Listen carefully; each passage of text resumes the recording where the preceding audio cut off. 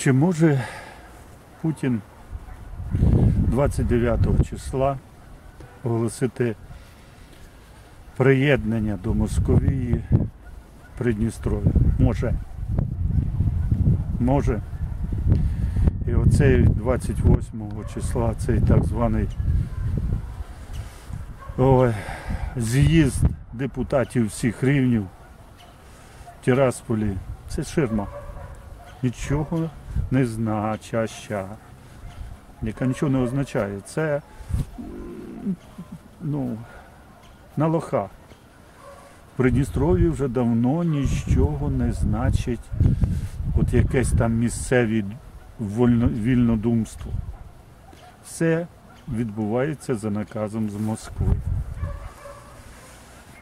Тому е, заперечувати то, що 29 числа Путін оголосить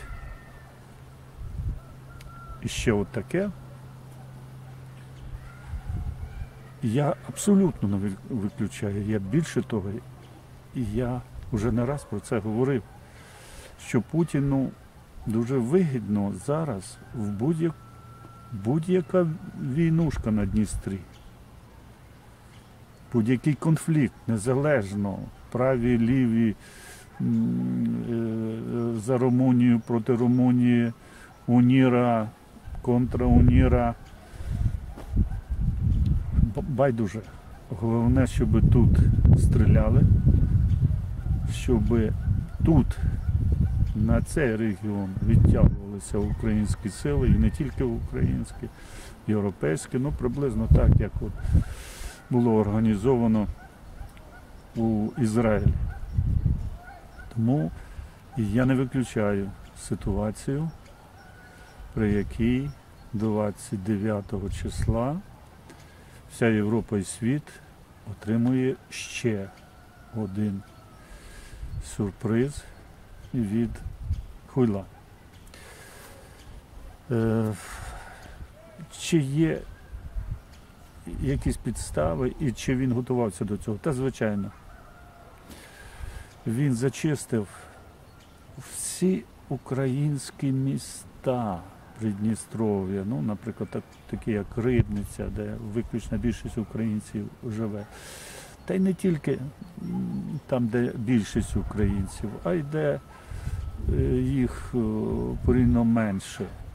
Хоча в цілому Придністров'ї, от тих, які по сьогодні себе називають, що вони русські є, їх все одно меншість. Їх меншість. І е, оця меншість агресивна. Вона виконує наказ хуйла, а у неї в руках кнопки владні, воєнні і інші. Дивіться, місцеве самоврядування не передбачає, що депутати сільських рад вирішують якісь міждержавні відносини. Ну, це от, от ваша сільська рада якогось там села в Україні чи в іншій цивілізованій країні не може вирішувати питання приєднання чи від'єднання частини території про якісь там міжнародні союзи не може, бо в місцевого самоврядування є чітко е, визначені ну, кордони, межі, повноважень. Але хуйлу на це абсолютно чихать який взагалі на міжнародне право, оскільки він вже заявив, що міжнародне право це таке вторинне по відношенню до його права. А його право будь-яким чином розпалити тут бойню. І байдуже, хто з ким буде тут воювати. Головне, щоб пламеніло. Тому треба, браття, Ми вже втратили дуже багато часу. Тримати тепер порох сухим. Тримати порох сухим уже, ну, ну що доведеться, що не зроблено вже на протязі десятків років з цим Придністров'ям, то вже зараз за кілька днів тут вже не поправиш. Хай би я краще помилився, але доведеться ті свої, так би мовити, упущення і прогалини виправляти великою кров'ю. Путін зачистив всі українські осередки у всіх районах Придністров'я, все керівництво. Те керівництво українських організацій, яке в 92-му році, наприклад, 93-му, ну, процвітало, е, винищено. Тоді не знали, що таке новічок.